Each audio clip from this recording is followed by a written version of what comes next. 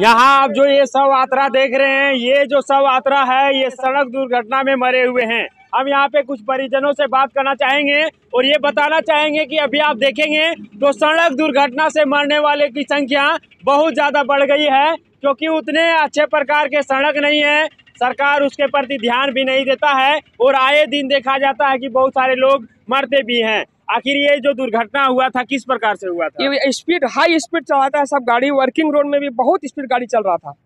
Working road है, इसमें आदमी पब्लिक चलने का लिए है, लेकिन इतना स्पीड में गाड़ी चलता है, जिसके चलते दुर्घटना हुआ। आदमी खड़ा था। इचाक मोड़ जाने के लिए इसी जगह पर खड़ा था, इसी जगह पे। और यहीं पे मैंने कि खड़ा था ऑटो रोकने के लिए, और हाई स्पीड में गाड़ी था, और उसको सीधे सीधे टक्कर मार दिया। आप सोच सकते हैं आज के नौजवानों को यदि आप गाड़ी चलाते देखेंगे तो आपको भी लगेगा कि भाई ये क्या करेगा। और एक लोग जो, जो उतना स्पीड से गाड़ी चलाते हैं उसके चक्कर में जो निर्दोष होते हैं जिसका कोई गलती नहीं होता है उसको मौत का शिकार उतर जाना पड़ता है। क्या कहेंगे? दिए उनको प्रशासन को इसमें दिखाना चाहिए कि हाई स्पीड इसमें ना चले प्रशासन इस पर रोक लगावे इस रोड को क्लियर करे। इस रो, इस रोड में बहुत सारा दीजिए उनको। हम हम चाहेंगे कि जैसे वज्रपात वगैरह से मृत्यु होने पर कुछ मुआवजा सरकार का प्रावधान है। उसी तरह से रोड एक्सीडेंट से जिन भी किन्हीं व्यक्ति का मृत्यु होता है उस तरह से उसमें सरकार का भी एक प्रावधान है कि रोड एक्सीडेंट से जो मृत्यु हो उसको भी पाँच लाख रुपया जो है सो एकदम ऑन स्पॉट मुहैया कराया जाए। इसके लिए जो भी प्रक्रिया हो किया जाए सरकारी सुविधा के तहत। परिजनों को यहाँ पे मुहैया भी दिया जाना चाहिए क्योंकि आप देखेंगे ये निर्दोष लोग थे है ना हर गाँव में ओवरफ्लाई होना चाहिए मस्त ज़रूरी है। जैसा कि घटना इस साइड हुआ था या फिर उधर हुआ था? कौन सा यही यही इसी जगह पे। आप यहाँ पे देख सकते हैं ये जो फोर लाइन है ये उधर है लेकिन ये जो है बाईपास है यहाँ से आप देख सकते हैं यही है घटना स्थल और ये जो है फोर लाइन इधर है लेकिन ये साइड जब यहाँ पे हाई स्पीड में गाड़ियाँ चला करके लोग गुजरते हैं अब आप समझिए, इधर घर वगैरह है, लोग तो बाहर आते जाते ही रहेंगे और यहाँ पे जो निर्दोष लोग हैं, खड़ा रहेंगे, उसको ठोक करके चले जाएँगे तो कैसा रहेगा? सरकार को इसके प्रति ध्यान देना चाहिए और जहाँ पे भी गाँव है, वहाँ पे फ्लाईओवर की सुविधा होनी चाहिए और साथ ही साथ जब इस प्रकार के सड़क हो तो इसमें ब्रेकर का भी सुविधा होना चाहिए ताकि हाई स्पीड में लोग गाड़ी ना चला सके। और वैसे लोग जो हाई स्पीड में चलते तो हैं उसको खुद का जान का तो जोखिम में डालना है ही, लेकिन साथ ही साथ वैसे निर्दोष लोगों को भी जान जोखिम में डाल दिया जाता है, और यहाँ पे भी वही हुआ है। क्या कहिएगा चाचा आप? वही कहेंगे, हम मान ली निर्दोष है, उसका कोई नहीं, उसका घर का चिराग बूत गया उस तरह का है गाड़ी चढ़ने के लिए खड़ा था, हम यहाँ पर खड़े थे बगल में। और उसकी माँ बगल में थी, माँ यहीं पर थी, और वो यहाँ पर था, और हम यहाँ गाय को हम पुआल दे रहे थे। मेरे सामने दुखद घटना हुआ एकदम आँखों देखा हाल। उसका कोई नहीं है आँखों देखा अच्छा ये सुनने को मिल रहा है कि उसका पिताजी भी यहीं पे डेट किए उसका पिताजी भी यहाँ इसी पे थोड़ा सा आगे डेट किए थे बस बगल में। क्या बोल रहे हैं?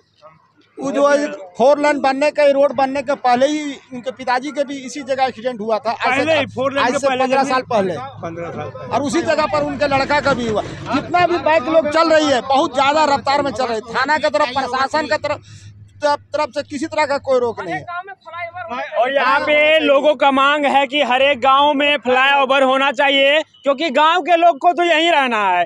उसको ये निर्दोष लोगों के इस प्रकार से यदि हत्या होने लगे और यहाँ पे सड़क दुर्घटना में मौत होने लगे तो सभी को दिक्कत है। क्या कह रहे चाचा? ई पार से ऊपर होने के लिए हम लोग को सोचना पड़ रहा है अभी। सोचना पड़ रहा है ना? फ्लाई ओवर आता था आपका ऊपर से जलता है अच्छा नीचे से अपना चलता हम लोग का सब है इस साइड पड़ता है जानवर बच्चा सब इस पार से उस पार होने में बहुत समस्या है। फ्लाईओवर होना चाहिए। दिक्कत हो रहा है। इस पर खेती बाड़ी होता है जानवर ले जाने में बच्चा को पार करने में स्कूल जाने तो में किस तरह से आदमी पार होगा किस तरह से जैसा की आप देख सकते हैं इधर खेत खलिहान जो भी है ये इस साइड है और वहीं पे आप देखेंगे तो गाँव आपको इस साइड देखने को मिलेगा और यहाँ पे आप देख लीजिए जाने आने का जो रास्ता है किस प्रकार से है आप देख लीजिए। अब लोग कितना आगे घूम करके आएँगे ये भी सोचने की ज़रूरत है। यहाँ पे किसी प्रकार से बना हुआ है ताकि लोग आ जा सके। तो यहाँ पे ये ध्यान देना चाहिए कि जहाँ पे गाँव दूसरे तरफ़ पड़ता है, वहाँ एक फ्लाईओवर बना दिया जाए, ताकि सड़क जो है, सड़क पर गाड़ियाँ आती जाती रहे और ऊपर से लोग अपना आना जाना कर सके। तो क्या कहना चाहेंगे चाचा आप? मेरे को कहने का मतलब यही है कि देखिए हम लोग का राइट साइड उधर बस्ती पड़ जाता है कुछ हम लोग का इधर भी पड़ जाता है जिसके चलते हम लोग खेती गृहस्थी भी इधर है। और इसी इसी साइड इसी इसी साइड हम लोग का स्कूल भी है प्राइमरी स्कूल है। छोटा छोटा बच्चा लोग का भी आवागमन किस प्रकार होगा? इसे फ्लाईओवर बनना बहुत ज़रूरी है। और आए दिन हमेशा हर बराबर होगा। अगर इस पर नहीं होता महीना दिन पंद्रह दिन में एक न एक घटना घट हो ही रहा नहीं हो रहा सो बात नहीं। छोटा छोटा बच्चा के हम लोग को पार करने के लिए सोचना पड़ रहा है अभी। जानवर पार करने के लिए सोचना पड़ रहा है कि किस तरह पार करें हम लोग। सरकार का इस इस रोड का मतलब इस रोड में सरकार को बिल्कुल ध्यान नहीं है इस रोड में। बिल्कुल ध्यान नहीं है। ऐसे पूरा रोड तो जाम लगा रहता है। सरकार और पथ परिवहन विभाग के द्वारा इस पर ध्यान दिया जाए और जल्द से जल्द यहाँ पे एक्शन लिया जाए क्योंकि आए दिन दुर्घटना की संख्या बढ़ते चला जाता है और सड़क दुर्घटना से निर्दोष लोगों की मौत हो जाता है। तो बस सरकार की नज़रों को इस ओर आकर्षण करने का काम करने का प्रयास करते हैं और कहते हैं कि यहाँ पे फ्लाईओवर बनाया जाए। आप यदि देखेंगे इस फोर लाइन में जो रांची पटना राजमार्ग है इसमें गाड़ियाँ लगातार आती जाती रहती है और लोगों को यहाँ पे आने जाने में बहुत दिक्कत होता है। जहाँ पर जो घटना हुई उससे घटना हुआ जिस घर का व्यक्ति लोग का देखिए महिला लोग वहाँ पर खड़ी है। कितना दूरी है वहाँ से यहाँ गाड़ी चल आप सोच सकते हैं कि कोई ये सोचा नहीं होगा कि इस प्रकार का दुर्घटना हो जाएगा लेकिन आए दिन होते रहता है। तो बस इन सभी ग्रामीणों के साथ सरकार से एक चीज़ मांग करते हुए कि इस सड़क पर और इस प्रकार के जितने भी गाँव इस जो राजमार्ग है इसके किनारे है वहाँ पे फ्लाईओवर की सुविधा किया जाए और फ्लाईओवर बना दिया जाए ताकि ग्रामीणों को आने जाने में सुविधा हो।